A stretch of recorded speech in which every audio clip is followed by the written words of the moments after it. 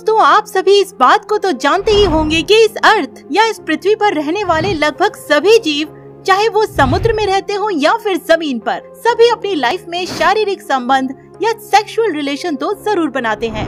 वैसे भी किसी भी जीव का वंश बिना सेक्सुअल रिलेशन के आगे नहीं बढ़ सकता। लेकिन हमारी इस पृथ्वी में एक जीव ऐसा भी है, जो बिना किसी सेक्सुअल रिलेशन के हज़ारों साल तक जीवित रहता है। और आज की इस वीडियो में हम आपको दिखाएँगे एक ऐसे जीव को जो अपनी लाइफ में कभी किसी के साथ सेक्सुअल रिलेशनशिप नहीं बनाता है और फिर भी सदियों तक ज़िंदा रहता है। तो चलिए देर ना करते हुए शुरू करते हैं आज की इस अमेजिंग वीडियो को। लेकिन उससे पहले आपसे एक छोटी सी रिक्वेस्ट है। अगर आपने अब तक इस चैनल को सब्सक्राइब नहीं किया है तो जल्दी से चैनल सब्सक्राइब करके बेल आइकन दबा लें, ताकि आप तक हमारी वीडियो सबसे पहले पहुँचे। चलिए अब आगे बढ़ते हैं।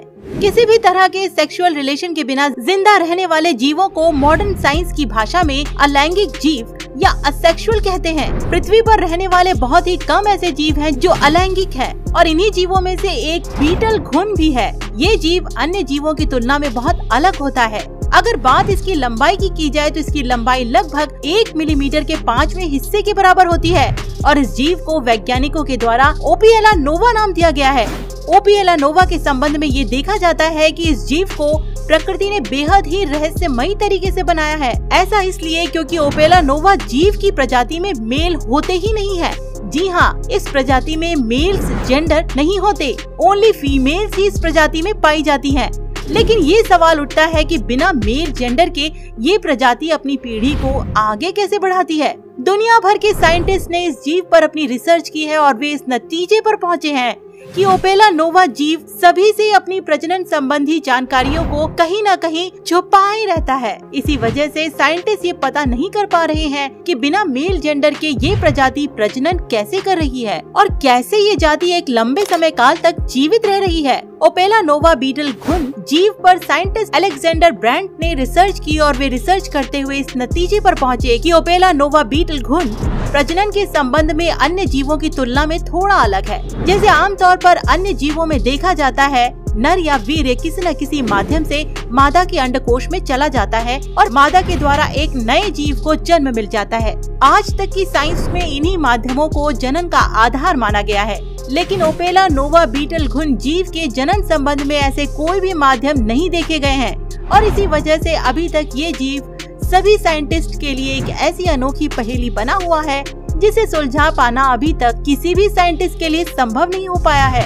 ओपेला नोवा बीटल घुन जीव के संबंध में university of Cologne and Gottingen के साइंटिस्ट की टीम और साथ ही डॉक्टर अलेक्जेंडर ब्रांड ने एक स्टडी की। स्टडी करने के बाद उन्होंने दुनिया के सामने एक ऐसी बात को पेश किया, जिसे सुनने के बाद सभी लोग हैरान हो गए।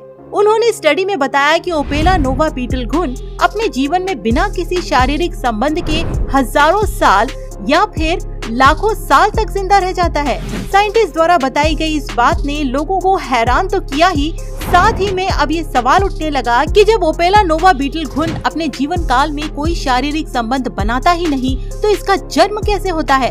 अकॉर्डिंग टू साइंस अगर बात इस पृथ्वी की करें तो बिग बैंग से हमारी पृथ्वी बनी और उसके बाद सबसे पहले एक कोशिकीय जीव इस पृथ्वी के एनवायरमेंट में बने। फिर उसके बाद एक कोशिकीय जीव से बहुकोशिकीय जीव बने।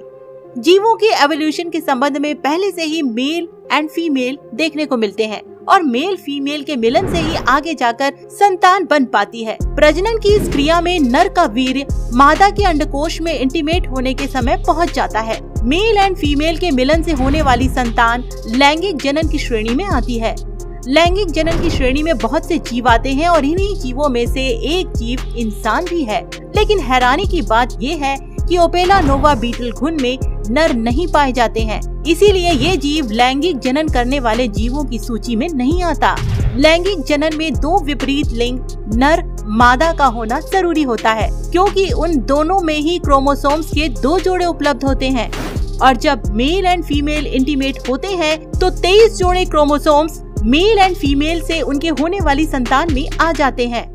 जिस वजह से ही माता पिता के समान ही संतान देखी जाती है। वहीं दूसरी ओर पादपों में प्रजनन की बात करें तो पौधों में पराग कण जल, मधुमक्खी या छोटे पक्षियों के माध्यम से हो जाता है, जिसके फलस्वरूप हमें नए पौधे देखने को मिलते हैं। पर बात अगर अलैंगिक जीवों की करें तो इनमें क्रोमोसोम्स नहीं होता, क्योंकि लैंगिक जनन के समान अलैंगिक जनन में मेल एंड फीमेल देखने को नहीं मिलते हैं। अलैंगिक जनन के अंतर्गत जो जीव आते हैं, वे अपने समान किसी अन्य जीव को नहीं, बल्कि खुद का ही क्लोन बनाते हैं। लेकिन साइंटिस्ट इस बात को लेकर और परेशान हो गए हैं कि ओपेला नोवा बीटल घुन अलैंगिक जीवों से भी अलग है, क्योंकि ये अपने समान क्लोन की क्लोनिंग प्रक्रिया में भी परिवर्तन करके क्लोन के जीन कोड में परिवर्तन ले आता है। और ओपेला नोवा बीटल घुन की इसी खूबी की वजह से ये जीव लैंगिक और अलैंगिक जीवों में से किसी भी श्रेणी में नहीं आता। इसके अलावा इस जीव की एक और खूबी है, वो ये कि ये जीव वातावरण में होने वाले परिवर्तनों के अनुसार खुद को ढाल कर आसानी से जीवित रह लेता है ये खूबी इसे सभी जीवों से एकदम अलग बना देती है ओपेला नोवा बीटल घुन के बारे में आप क्या कहना चाहते हैं, हमें कमेंट करके ज़रूर बताएँ। अगर आपको वीडियो पसंद आई हो तो वीडियो को लाइक और शेयर करना ना भूलें। अगर आप हमें कोई सुझाव देना चाहते हैं तो हमें कमेंट बॉक्स में ज़रूर दें और अब तक आपने हमारे चैनल को अगर सब्सक्राइब नहीं किया है तो जल्दी ऐसी चैनल सब्सक्राइब कर बेल आइकन भी दबा ले ताकि हमारी ऐसी ही अमेजिंग वीडियो आप तक लगातार पहुँचती रहे। तो मिलते हैं अगली शानदार वीडियो के साथ।